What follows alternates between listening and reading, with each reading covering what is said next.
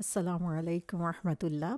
কোরআন মজিদে ইব্রাহিম আলাইসাল্লামের জীবনের অনেক ঘটনা আল্লাহ সুবহান তাআলা তুলে ধরেছেন এবং তার সাথে সাথে আমাদেরকে শিক্ষা দিয়েছেন তার জীবন থেকে। এবং সেই শিক্ষার একটা গুরুত্বপূর্ণ অংশ হল ইব্রাহিম আলাইসাল্লামের দোয়া। তার প্রজ্ঞাপূর্ণ সেই দোয়াগুলো আমাদের সবার জন্য অত্যন্ত শিক্ষণীয়। আজকে আমরা যে দোয়াটা নিয়ে আলোচনা করব, সেটা এসেছে কোরআন মাজিদের সুরা মমতাহিনার পাঁচ নম্বর আয়াতে। সেখানে তিনি আল্লাহ সুবহান তালার কাছে দোয়া করছেন, রাব্বানা লা তাজ আলনা ফিতনা তাল্লিল্লাজিনা কাফারু ওয়াগফির লানা রব্বানা ইন্নাকা আন্তাল আজিজুল হাকিম। তাহলে অর্থ হচ্ছে, হে আমাদের পালনকর্তা, তুমি আমাদেরকে কাফেরদের জন্য পরীক্ষার পাত্র করো না। হে আমাদের পালনকর্তা, আমাদের ক্ষমা করো। নিশ্চয়ই তুমি পরাক্রমশালী, প্রজ্ঞাময়। সুরা মমতাহিনার পাঁচ নম্বর আয়াতে ইব্রাহিম আলাহ ইসলামের একটা স্পেসিফিক দোয়া উল্লেখ করা হয়েছে। এটা কোন প্রসঙ্গে কখন নাজিল হয়েছে সেটা বুঝতে হলে আমরা চার নম্বর আয়াতটা খেয়াল করতে পারি। সেখানে বলা হয়েছে তোমাদের জন্য ইব্রাহিম ও তার সঙ্গীগণের মধ্যে চমৎকার আদর্শ রয়েছে। তারা তাদের সম্প্রদায়কে বলেছিল, তোমাদের সাথে এবং তোমরা আল্লাহর পরিবর্তে যার ইবাদত করো, তার সাথে আমাদের কোনো সম্পর্ক নেই। আমরা তোমাদের মানি না। তোমরা এক আল্লাহর প্রতি বিশ্বাস স্থাপন না করলে তোমাদের মধ্যে ও আমাদের মধ্যে চিরশত্রুতা থাকবে। কিন্তু ইব্রাহিমের উক্তি তার পিতার উদ্দেশ্যে এই আদর্শের ব্যতিক্রম। তিনি বলেছিলেন, আমি অবশ্যই তোমার জন্য ক্ষমা প্রার্থনা করব। তোমার উপকারের জন্য আল্লাহর কাছে আমার আর কিছু করার নেই। হে আমাদের পালনকর্তা, আমরা তোমারই উপর ভরসা করছি, তোমারই দিকে মুখ করেছি এবং তোমারই নিকট আমাদের প্রত্যাবর্তন। তাহলে এই চার নম্বর আয়াতের মধ্যে আমরা দেখছি যে ইব্রাহিম আলাইসাল্লাম যেই দোয়াটা করেছেন, সেই দোয়াটা তার গোত্রের সাথে বা সম্প্রদায়ের সাথে যখন তিনি সম্পর্ক ছিন্ন করছেন এবং সেই সম্পর্ক ছিন্নের কারণ হচ্ছে তারা আল্লাহ ছাড়া অন্যদেরকে উপাস্য হিসাবে ধরে নিয়েছিল এবং তারা সেটাকে ছাড়তে রাজি ছিল না যদি ইব্রাহিম আলাইসাল্লাম বিভিন্নভাবে তাদেরকে বোঝানোর জন্য চেষ্টা করেছিলেন। এবং সে কারণে তার, এবং তার সম্প্রদায়ের মধ্যে যে ডিভাইডার তৈরি হলো সেটা হচ্ছে তাওহিদের সম্পর্ক, সেটা হচ্ছে ইমানের সম্পর্ক। এবং সেই ইমানের কারণেই তিনি তাদেরকে ছেড়ে চলে আসলেন। কিন্তু তার বাবার জন্য বা তার পিতার জন্য, তার যেই সম্পর্কের কারণে তিনি তার বাবার জন্য তখনও ক্ষমা প্রার্থনা করার অঙ্গীকার করলেন। পরবর্তীতে আল্লাহ সুবাহতাল্লাহ তাকে নির্দেশ দিলেন যে যারা হচ্ছে কাফের তাদের জন্য তার ক্ষমা প্রার্থনা কোনো কাজে লাগবে না এবং তখন তিনি সেই প্রতিশ্রুতি থেকে সরে আসেন। তাহলে এখানে আমরা দেখতে পাচ্ছি যে ঠিক সেই সময়ে ইব্রাহিম আলাইসাল্লাম তার রবের কাছে প্রার্থনা করছেন যে, হে আমাদের পালনকর্তা, তুমি আমাদেরকে কাফেরদের জন্য পরীক্ষার পাত্র করো না। অর্থাৎ যে সম্প্রদায়কে তিনি ছেড়ে এসেছেন ইমানের তাগিদে, সেই সম্প্রদায়, সেই ডিসবিলিভার বা কুফর ঋতে যারা লিপ্ত রয়েছে, তাদের কারণে তিনি তার ইমান যাতে পরীক্ষার মধ্যে না পড়ে এবং তারপরে তিনি বলছেন আবার যে হ্যাঁ আমাদের পালনকর্তা আমাদের ক্ষমা করো, কারণ তিনি হচ্ছেন আজিজুল হাকিম। ঠিক এর পরের আয়াতে আল্লাহ সুবাহ বলছেন, তোমরা যারা আল্লাহ এবং পরকাল প্রত্যাশা করো, তোমাদের জন্য তাদের মধ্যে উত্তম আদর্শ রয়েছে। আর যে মুখ ফিরিয়ে নেয়, তার জানা উচিত আল্লাহ বেপরোয়া এবং প্রশংসার মালিক। তার মানে ইব্রাহিম আলাইসাল্লাম এবং তার অনুসারীরা হচ্ছে যারা আল্লাহ এবং আখিরাতে আল্লাহর কাছ থেকে ভালো কিছু প্রত্যাশা করে, তাদের জন্য হচ্ছে এক্সিলেন্ট এক্সাম্পল তো আল্লাহ সুবহান তালা ইব্রাহিম আলাইসাল্লামের কাছ থেকে বা তার অনুসারীদের কাছ থেকে শিক্ষা গ্রহণের জন্য আমাদেরকে এখানে নির্দেশ দিচ্ছেন। এখানে প্রথম যে অংশটা দোয়ার সেখানে বলা হচ্ছে রব্বানা লা তাজআলনা ফিতনাতাল লিল্লাযিনা কাফারু। তো রব্বানা অর্থ আমরা জানি, এর অর্থ হচ্ছে, হে আমাদের প্রভু, হে আমাদের রব। সো এইটা যখন রব্বানা বলা হচ্ছে, তার মধ্যেই একটা ভালোবাসা এবং আল্লাহর সাথে আমাদের যে গভীর সম্পর্ক রয়েছে, সেটা ফুটে উঠছে। রবকে, রব হচ্ছেন তিনি, যিনি আমাদেরকে সৃষ্টি করেছেন। যিনি আমাদের সৃষ্টির পর আমাদের বেড়ে ওঠার জন্য যা কিছু প্রয়োজন, সেগুলোকে সাপ্লাই দিচ্ছেন। যিনি আমাদের নারিশমেন্টের জন্য যা কিছু দরকার সেগুলোকে পর্যাপ্ত পরিমাণে আমাদের কাছে প্রস্তুত রাখছেন এবং যিনি হচ্ছেন আমার গোপন সমস্ত কিছু জানেন, তিনি হচ্ছেন রব। অর্থাৎ তিনি হচ্ছেন সমস্ত কিছু প্রোভাইডার সাস্টেইনার এবং সাথে সাথে আমার ডেভেলপমেন্টের জন্য যিনি প্রতিনিয়ত আমাকে সাপোর্ট দিয়ে যাচ্ছেন, তিনি আমার রব। সো সেই রবের কাছে প্রার্থনা করা হচ্ছে, কারণ তিনি আমার সম্পর্কে সবচেয়ে বেশি ভালো জানেন। তাকে বলা হচ্ছে লতা জালনা আমাদেরকে তুমি মেক করো না, আমাদেরকে পরিণত করো না, ফিতনা। যে আমাদেরকে ফিতনায় পরিণত করো না। ফিতনা মানে কি? আমাদের জন্য পরীক্ষা যে আমরা কোনো, যাতে পরীক্ষার পাত্রে পরিণত না হই। কার জন্য? লিল্লাদিনা কাফারু, যারা হচ্ছে অবিশ্বাস করেছে, যারা হচ্ছে কুফরি করেছে যারা হচ্ছে আল্লাহ সুবাহতালার দেওয়া বিধান থেকে মুখ ফিরিয়ে নিয়েছে এবং সেটাকে অস্বীকার করেছে, তাদের কাছে আমাদেরকে কি করো না? পরীক্ষার পাত্র করো না। তাদের মাধ্যমে আমাদেরকে ফিতনার মধ্যে ফেলো না। তাদের মাধ্যমে আমাদের ইমানকে তুমি পরীক্ষায় লিপ্ত করো না। এই আয়াতটারই বিভিন্ন ব্যাখ্যা এসেছে। বিভিন্ন মুফাসির এটাকে বিভিন্নভাবে উপস্থাপন করেছেন। যেমন মুজাহিদ বলেছেন, এটার অর্থ হচ্ছে যে আল্লাহ সুবাহ তাল্লাহকে বলা আমরা রিকোয়েস্ট করছি এর মাধ্যমে যে do not punish us by their hands যে কাফেররা সরাসরি আমাদেরকে ক্ষতিগ্রস্ত করবে, সেটা যেন না হয় এবং আল্লাহর ক্ষতি থেকে বা আল্লাহর শাস্তি থেকেও আমরা যাতে নিজেদেরকে বাঁচাতে পারি। কাতাদা রহমতুল্লাহ আলহি বলেছেন যে এর অর্থ হচ্ছে যারা অবিশ্বাসী, যারা কাফের, যারা হচ্ছে ইসলামের পরিপন্থী, তাদেরকে আমাদের উপরে বিজয়ী করো না এবং এর মাধ্যমে তাদের যেই পরীক্ষা বা তারা যে ট্রায়ালস এবং ট্রিভুলিয়েশন নিয়ে আসতে পারে আমাদের জন্য, সেগুলো থেকে তুমি আমাদেরকে রক্ষা করো এবং যদি এর মাধ্যমে তাদের বিজয় চলে আসে, তাহলে তারা মনে করবে যে ইমানদারদের উপরে তারা বিজয়ী হয়ে গিয়েছে। আলী ইবনে তালহা ইবনে আব্বাস রাদিয়াল্লাহু থেকে বর্ণনা করেছেন, এর অর্থ হচ্ছে কাফেরদেরকে আমাদের উপরে প্রাধান্য দিও না বা আমাদের উপরে তাদেরকে ক্ষমাশীল করো না এবং তাদের মাধ্যমে আমরা যাতে কোনো ট্রায়াল বা সাফারিংয়ের মধ্য দিয়ে যেতে না হয়। তাহলে এই ব্যাখ্যাগুলো থেকে আমরা যে জিনিসটা দেখতে পাচ্ছি, এখানে তিনটা জিনিস বলা হচ্ছে যে কীভাবে কাফেরদের মাধ্যমে আমরা পরীক্ষার পাত্রে পরিণত হতে পারি এবং কি কারণে আমরা আল্লাহর কাছে সাহায্য চাইব। একটা হচ্ছে কাফেররা আমাদের উপরে ক্ষমতাশীল হতে পারে এবং এর মাধ্যমে তারা মনে কর, করতে পারে যে তারাই হচ্ছে সঠিক পথে রয়েছে এবং যারা ইমানদার তারা হচ্ছে ভুল পথে রয়েছে। তো এটা আসলে খুব ইজিয়েস্ট ওয়ে যেটা আমরা স্বাভাবিকভাবে দেখি যে যখন আমরা দুনিয়াতে কাউকে ভালো অবস্থানে দেখি, কাউকে প্রতিষ্ঠিত অবস্থায় দেখি, আমরা মনে করি যে সে হচ্ছে রাইটলি গাইডেড বা সে সঠিক পথে রয়েছে। কিন্তু এখানে আল্লাহ সুহামতাল্লাহর কাছে দোয়া করছেন ইব্রাহিম আলাইসাল্লাম যে যারা হচ্ছে অবিশ্বাসী, যারা হচ্ছে কাফের, তারা যদি আমাদের উপরে ক্ষমতাবান হয়ে পড়ে, তাহলে তারা মনে করবে যে তারাই সঠিক পথে ছিল। সে কারণে আল্লাহ তাদেরকে এ ধরনের সুযোগ দিয়েছে এবং যারা ইমানদার, তারা হচ্ছে ভুল পথে রয়েছে। এবং আমরা জানি যে রাসুল সাল্লাহ ইসলামের সময়ও কাফিররা রাসুল সাল্লাহ ইসলামকে নিয়ে হাসি ঠাট্টা করতো এবং বলতো যে, তোমার অনুসারী কারা? তোমার অনুসারী হচ্ছে সব স্লেভস যারা হচ্ছে সমাজের সবচেয়ে নিচু শ্রেণির, তারাই হচ্ছে তোমার অনুসারী।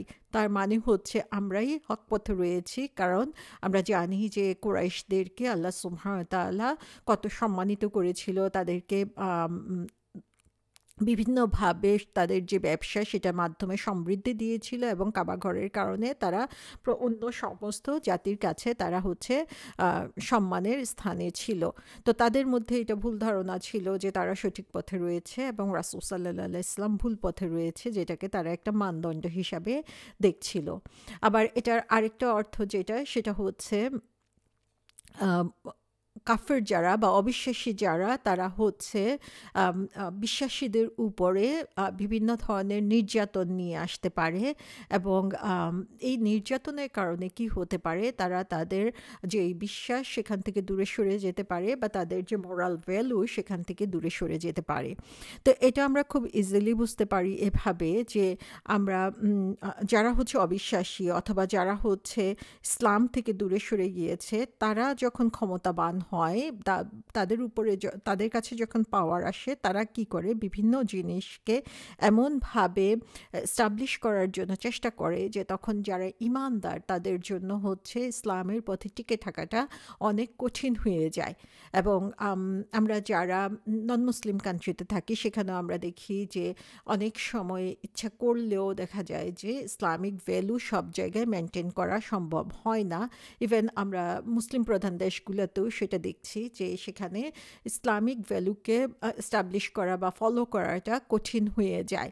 এবং এখানে আমরা ইব্রাহিম আলাহ ইসলামের এই দোয়াটা থেকে দেখতে পাচ্ছি যে, এই যে কাফেররা যদি ক্ষমতাবান হয়ে পড়ে বা তাদের কাছে যদি পাওয়ার আসে, তাহলে কি হবে? তারা বিশ্বাসীদের উপরে এই অন ইসলামিক নীতিগুলোকে চাপিয়ে দিবে এবং স্বাভাবিকভাবেই তারা ইমান থেকে দূরে সরে যাবে অথবা তাদের যে মোরাল ভ্যালু বা নৈতিক বিশ্বাস রয়েছে, সে বিশ্বাস থেকে তারা দূরে সরে যাবে। সো সে ধরনের পরিস্থিতি যাতে সৃষ্টি না হয়, সেটার জন্য আল্লাহর কাছে দোয়া চাওয়া হচ্ছে। এবং থার্ড যে মিনিংটা সেটা হচ্ছে যদিও ইমানদারগণ জানে যে এটাই হচ্ছে রাইট ওয়ে এটাই আল্লাহ সুবাহ তাল্লাহ করতে বলেছে, কিন্তু যেহেতু কাফেররা হচ্ছে তাদের উপরে ক্ষমতাবান, সে কারণে তাদের যে আস্থাটা থাকার কথা মোরাল সুপিরিয়রিটির জন্য বা নৈতিকভাবে তাদের যে অবস্থানটা থাকার কথা ছিল, অন্য সবার চেয়ে উপরের লেভেলে যাওয়ার, সেটা তাদের থাকবে না, যেটা তাদের আস্থা এবং বিশ্বাসকে নষ্ট করে দিবে। তো এ কারণে আমরা দেখি যে বিভিন্ন কারণে ইব্রাহিম আলাহ ইসলামের এই যে চিন্তা ভাবনা, সেটা আমরা দেখতে পাচ্ছি যে কাফেরদেরকে যাতে আল্লাহ সুবাহতালা প্রতিষ্ঠিত না করেন মুসলমানদের উপরে, সেটার জন্য তিনি দোয়া করেছিলেন। এবং আজকে আমরা দেখি যে আমরা অনেক দোয়া করি, কিন্তু এ ধরনের দোয়া অনেক সময় আমাদের হয় না, যে কারণে হচ্ছে আমরা এখনকার যে সময় বা এখনকার যে পরিস্থিতি সেখানে দেখতে পাই যে আল্লাহ তালা বিভিন্ন জায়গায় অবিশ্বাসীদেরকে প্রতিষ্ঠিত করে দিয়েছেন। কারণ হচ্ছে তাদের কোয়ালিটির জন্য। কারণ হচ্ছে তাদের যে ধরনের গুণাবলী থাকা দরকার, সে ধরনের গুণাবলী বা ক্ষমতা তারা অর্জন করতে পেরেছে এবং যে কারণে মুসলিমরা ম্যাক্সিমাম জায়গায় হচ্ছে তারা অপ্রেসড হয়ে আছে। তো ইব্রাহিম আলাইসাল্লাম যখন তিনি তার গোত্র ছেড়ে চলে যাচ্ছিলেন, তখন এ ধরনের দোয়া করেছিলেন এবং এর মাধ্যমে তিনি আসলে এই জিনিসটাকেই এস্টাবলিশ করেছেন বা এই জিনিসটাই বুঝিয়েছেন যে ক্ষমতা অথবা পাওয়ার হচ্ছে মুসলমানদের মোরাল সাপোর্টের জন্য অনেক বেশি গুরুত্বপূর্ণ। এখন ক্ষমতায় যদি ভুল মানুষকে রাখা হয়, তাহলে তারা কি করবে? তারা হচ্ছে নৈতিকতার পথে বাধা হবে এবং ইমানের পথে কাজ করার জন্য যেই ধরনের সুযোগ সুবিধা দরকার, সে ধরনের সুযোগ সুবিধা থেকে বঞ্চিত হবে। তাহলে এই যে কাফিরদের উপর নিজেদেরকে বিজয়ী করার জন্য বা অনইসলামী শক্তির উপর নিজেকে বিজয়ী করার জন্য ইব্রাহিম আলাইসাল্লাম এই দোয়াটা আমাদেরকে শিখিয়ে দিয়েছেন যেন আমরা আল্লাহর কাছে এজন্য দোয়া করতে পারি এবং এজন্য নিজেদেরকে প্রস্তুত করতে পারি। তারপরে তিনি বলেছেন, ওয়াকফির লানা রব্বানা যে, হে আমাদের প্রভু, তুমি আমাদেরকে ক্ষমা করো। সো গফারা শব্দের অর্থ হচ্ছে কোনো কিছুকে কাভার আপ করে দেওয়া। আমরা যদিও স্বাভাবিকভাবে ক্ষমা বা ফরগিভনেস বলে থাকি, কিন্তু এটার অর্থ হচ্ছে কোনো ভুল বা কোন ধরনের মিস্টেক যদি থাকে, সেটাকে কাভার করে দেওয়া, ঢেকে দেওয়া, সেটাকে গাফরা বলা হয়ে থাকে, তাহলে আমরা এখানে আল্লাহ সুবহান কাছে দোয়া করছি যে, হে আল্লাহ, তুমি আমাদের ভুলগুলোকে, দোষগুলোকে তুমি ঢেকে দাও, সেটা যাতে এক্সপোজড না হয়, সেটা যাতে মানুষের কাছে প্রকাশ না হয়, এবং তুমি যদিও এই জিনিসগুলো জানো, কিন্তু সেগুলোর জন্য তুমি আমাদেরকে ক্ষমা করে দাও, অর্থাৎ এগুলোকে ইগনোর করো। তো আমরা যখন আল্লাহ সুবাহ তাল্লাহকে বলছি যে, তুমি আমাদেরকে ক্ষমা করে দাও, নিজের থেকে সেটা সচেতনভাবে আল্লাহর কাছে চাচ্ছি, তার মানে এটাও আমরা উপলব্ধি করছি যে, এটা ভুল, এটা অন্যায় এবং সে অন্যায় থেকে নিজেদেরকে দূরে সরিয়ে রাখার জন্য আমরা চেষ্টা করব। এবং তারপরেই শেষে যে কথাটা বলা হয়েছে, ইন্নাকা আজিজুল হাকিম। তাহলে আমরা দেখি যে, যখনই কোনো দোয়া করা হচ্ছে, সে দোয়ার সাথে সাথে আল্লাহর বিভিন্ন গুণবাচক নামগুলো সেখানে বলা হচ্ছে। তো সুবহান আল্লাহ এটা হচ্ছে দোয়ার সৌন্দর্যের একটা অংশ যে আমি আল্লাহকে চিনি, আমি আল্লাহকে জানি এবং আল্লাহকে ভালোবেসে আল্লাহর গুণবাচক নামগুলো দিয়ে আল্লাহর কাছে আমরা চাচ্ছি। এখানে কি চাওয়া হচ্ছে? এখানে আমরা বলছি নিশ্চয়ই তুমি হচ্ছ আল আজিজ তুমি হচ্ছ আল হাকিম আল আজিজ শব্দের অর্থ কি? আল আজিজ শব্দের অর্থ হচ্ছে যিনি হচ্ছেন অলমাইটি, যিনি হচ্ছেন পরাক্রমশালী।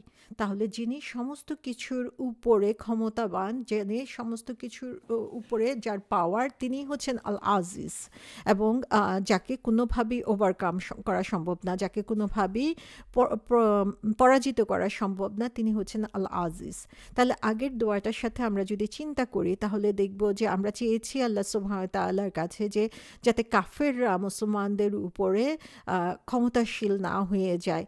এখানে আমরা আল্লাহকে আল আজিজ বলে বলছি। তার মানে হচ্ছে তিনিই তো সমস্ত ক্ষমতার উৎস এবং তার উপরে কারও ক্ষমতা নেই।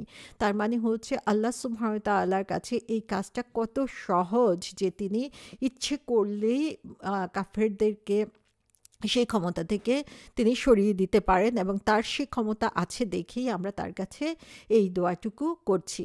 এবং তার সাথে সাথে আমরা বলছি আল হাকিম আল হাকিম হচ্ছে দ্য অল ওয়াইজ যিনি হচ্ছেন প্রজ্ঞাশীল যিনি হচ্ছেন যার জ্ঞান এবং সে জ্ঞানকে কাজে লাগানোর ক্ষমতা হচ্ছে সমস্ত ভুলের ঊর্ধ্বে পারফেক্ট এবং সেখানে কোনো ভুল বুঝাবুঝির কোনো সুযোগ নাই। তার মানে হচ্ছে তার জ্ঞান আছে এবং সেই জ্ঞানকে অ্যাপ্রোপ্রিয়েটলি কোথায়, কখন, কীভাবে কাজে লাগাতে হবে সেটাও তিনি জানেন। তাহলে আমরা এখানে আল্লাহ সুবাহতাল্লাহকে বলছি আল্লাহ আজিজ আল্লাহ হাকিম তার মানে কখন, কোন পরিস্থিতিতে, কোন জায়গায় আমার তার সাহায্য সবচেয়ে বেশি দরকার সেটা আমি তার কাছে চাচ্ছি কারণ তিনিই হচ্ছেন সাহায্য দেওয়ার ব্যাপারে সবচেয়ে বেশি শক্তিশালী সব কিছুর উপরে শক্তিশালী। তাহলে এই ছোট্ট একটা দোয়া থেকে আমরা যে জিনিসটা শিখছি, সেটা হচ্ছে আল্লাহ সুবাহতাল্লাহকে তার সুন্দর নামগুলো দিয়ে ডাকতে হবে। আমরা এখানে দেখি যে কত সুন্দরভাবে সে নামগুলো এসেছে। ঠিক যা আমি চাচ্ছি সেই আলোকে যিনি হচ্ছেন শ্রেষ্ঠ, যিনি হচ্ছেন সেটা দেওয়ার ক্ষমতা রাখেন, তিনি হচ্ছেন আল্লাহ আজিজ আল হাকিম। তো আল্লাহর নামগুলো জানা এবং তার মাধ্যমে তাকে ডাকা, সেটা হচ্ছে ওয়ান অফ দ্য ওয়ে দোয়াকে সুন্দর করা এবং দোয়াকে অ্যাকসেপ্টেড সেট করার জন্য। সেকেন্ড যে জিনিসটা, সেটা হচ্ছে যে কাফেরদের অ্যাগেনস্টে নিজেদের সম্মান বৃদ্ধি করার জন্য আল্লাহর কাছে সাহায্য চাওয়া। এবং সেই সম্মান বৃদ্ধি করার জন্য অবশ্যই আমাকে অ্যাজ এ বিলিভার আমার যে কোয়ালিটি মেনটেন করার কথা, সেটা আমি অবশ্যই চেষ্টা করব। একজন ইমানদার হিসাবে যে ধরনের ইমানের মজবুতি থাকা দরকার, সেটা আমার মধ্যে থাকবে। যে ধরনের নৈতিক চরিত্র আমার শো করা দরকার, সেটা আমি শো করব। এবং তার মাধ্যমেই আমি আল্লাহ আল্লাহর কাছে চাইব যে আল্লাহ যাতে আমাকে কাফিরদের উপরে সম্মানিত করে। আমার জ্ঞানে, আমার চরিত্রে, আমার সম্পদে সমস্ত কিছু দিয়ে, আমার সন্তান সন্ততি দিয়ে, সমস্ত কিছু দিয়ে আমরা যাতে আল্লাহর কাছে সম্মানিত হই কাফিরদের উপরে। এবং তার যে জিনিসটা যে প্রতিনিয়ত আল্লাহর কাছে ক্ষমার জন্য চাওয়া, কারণ আল্লাহ যদি চান আমাদের গুণাগুলোকে এক্সপোজ করে দিতে, তাহলে এমন কোনো শক্তি নাই যে যে হচ্ছে সেটাকে লুকিয়ে রাখতে পারে। আবার আল্লাহ যদি চান আমাদেরকে ক্ষমা করে দিতে, সেই গুণাগুলোকে লুকিয়ে রেখে তিনি আমাদেরকে জান্নাত দিতে পারেন। আল্লাহ সুহায়তালা আমাদেরকে এরকম সুন্দর দোয়া, শিখার এবং সে অনুযায়ী নিজেদের জীবনকে গড়ে তোলার তৌফিক দিন।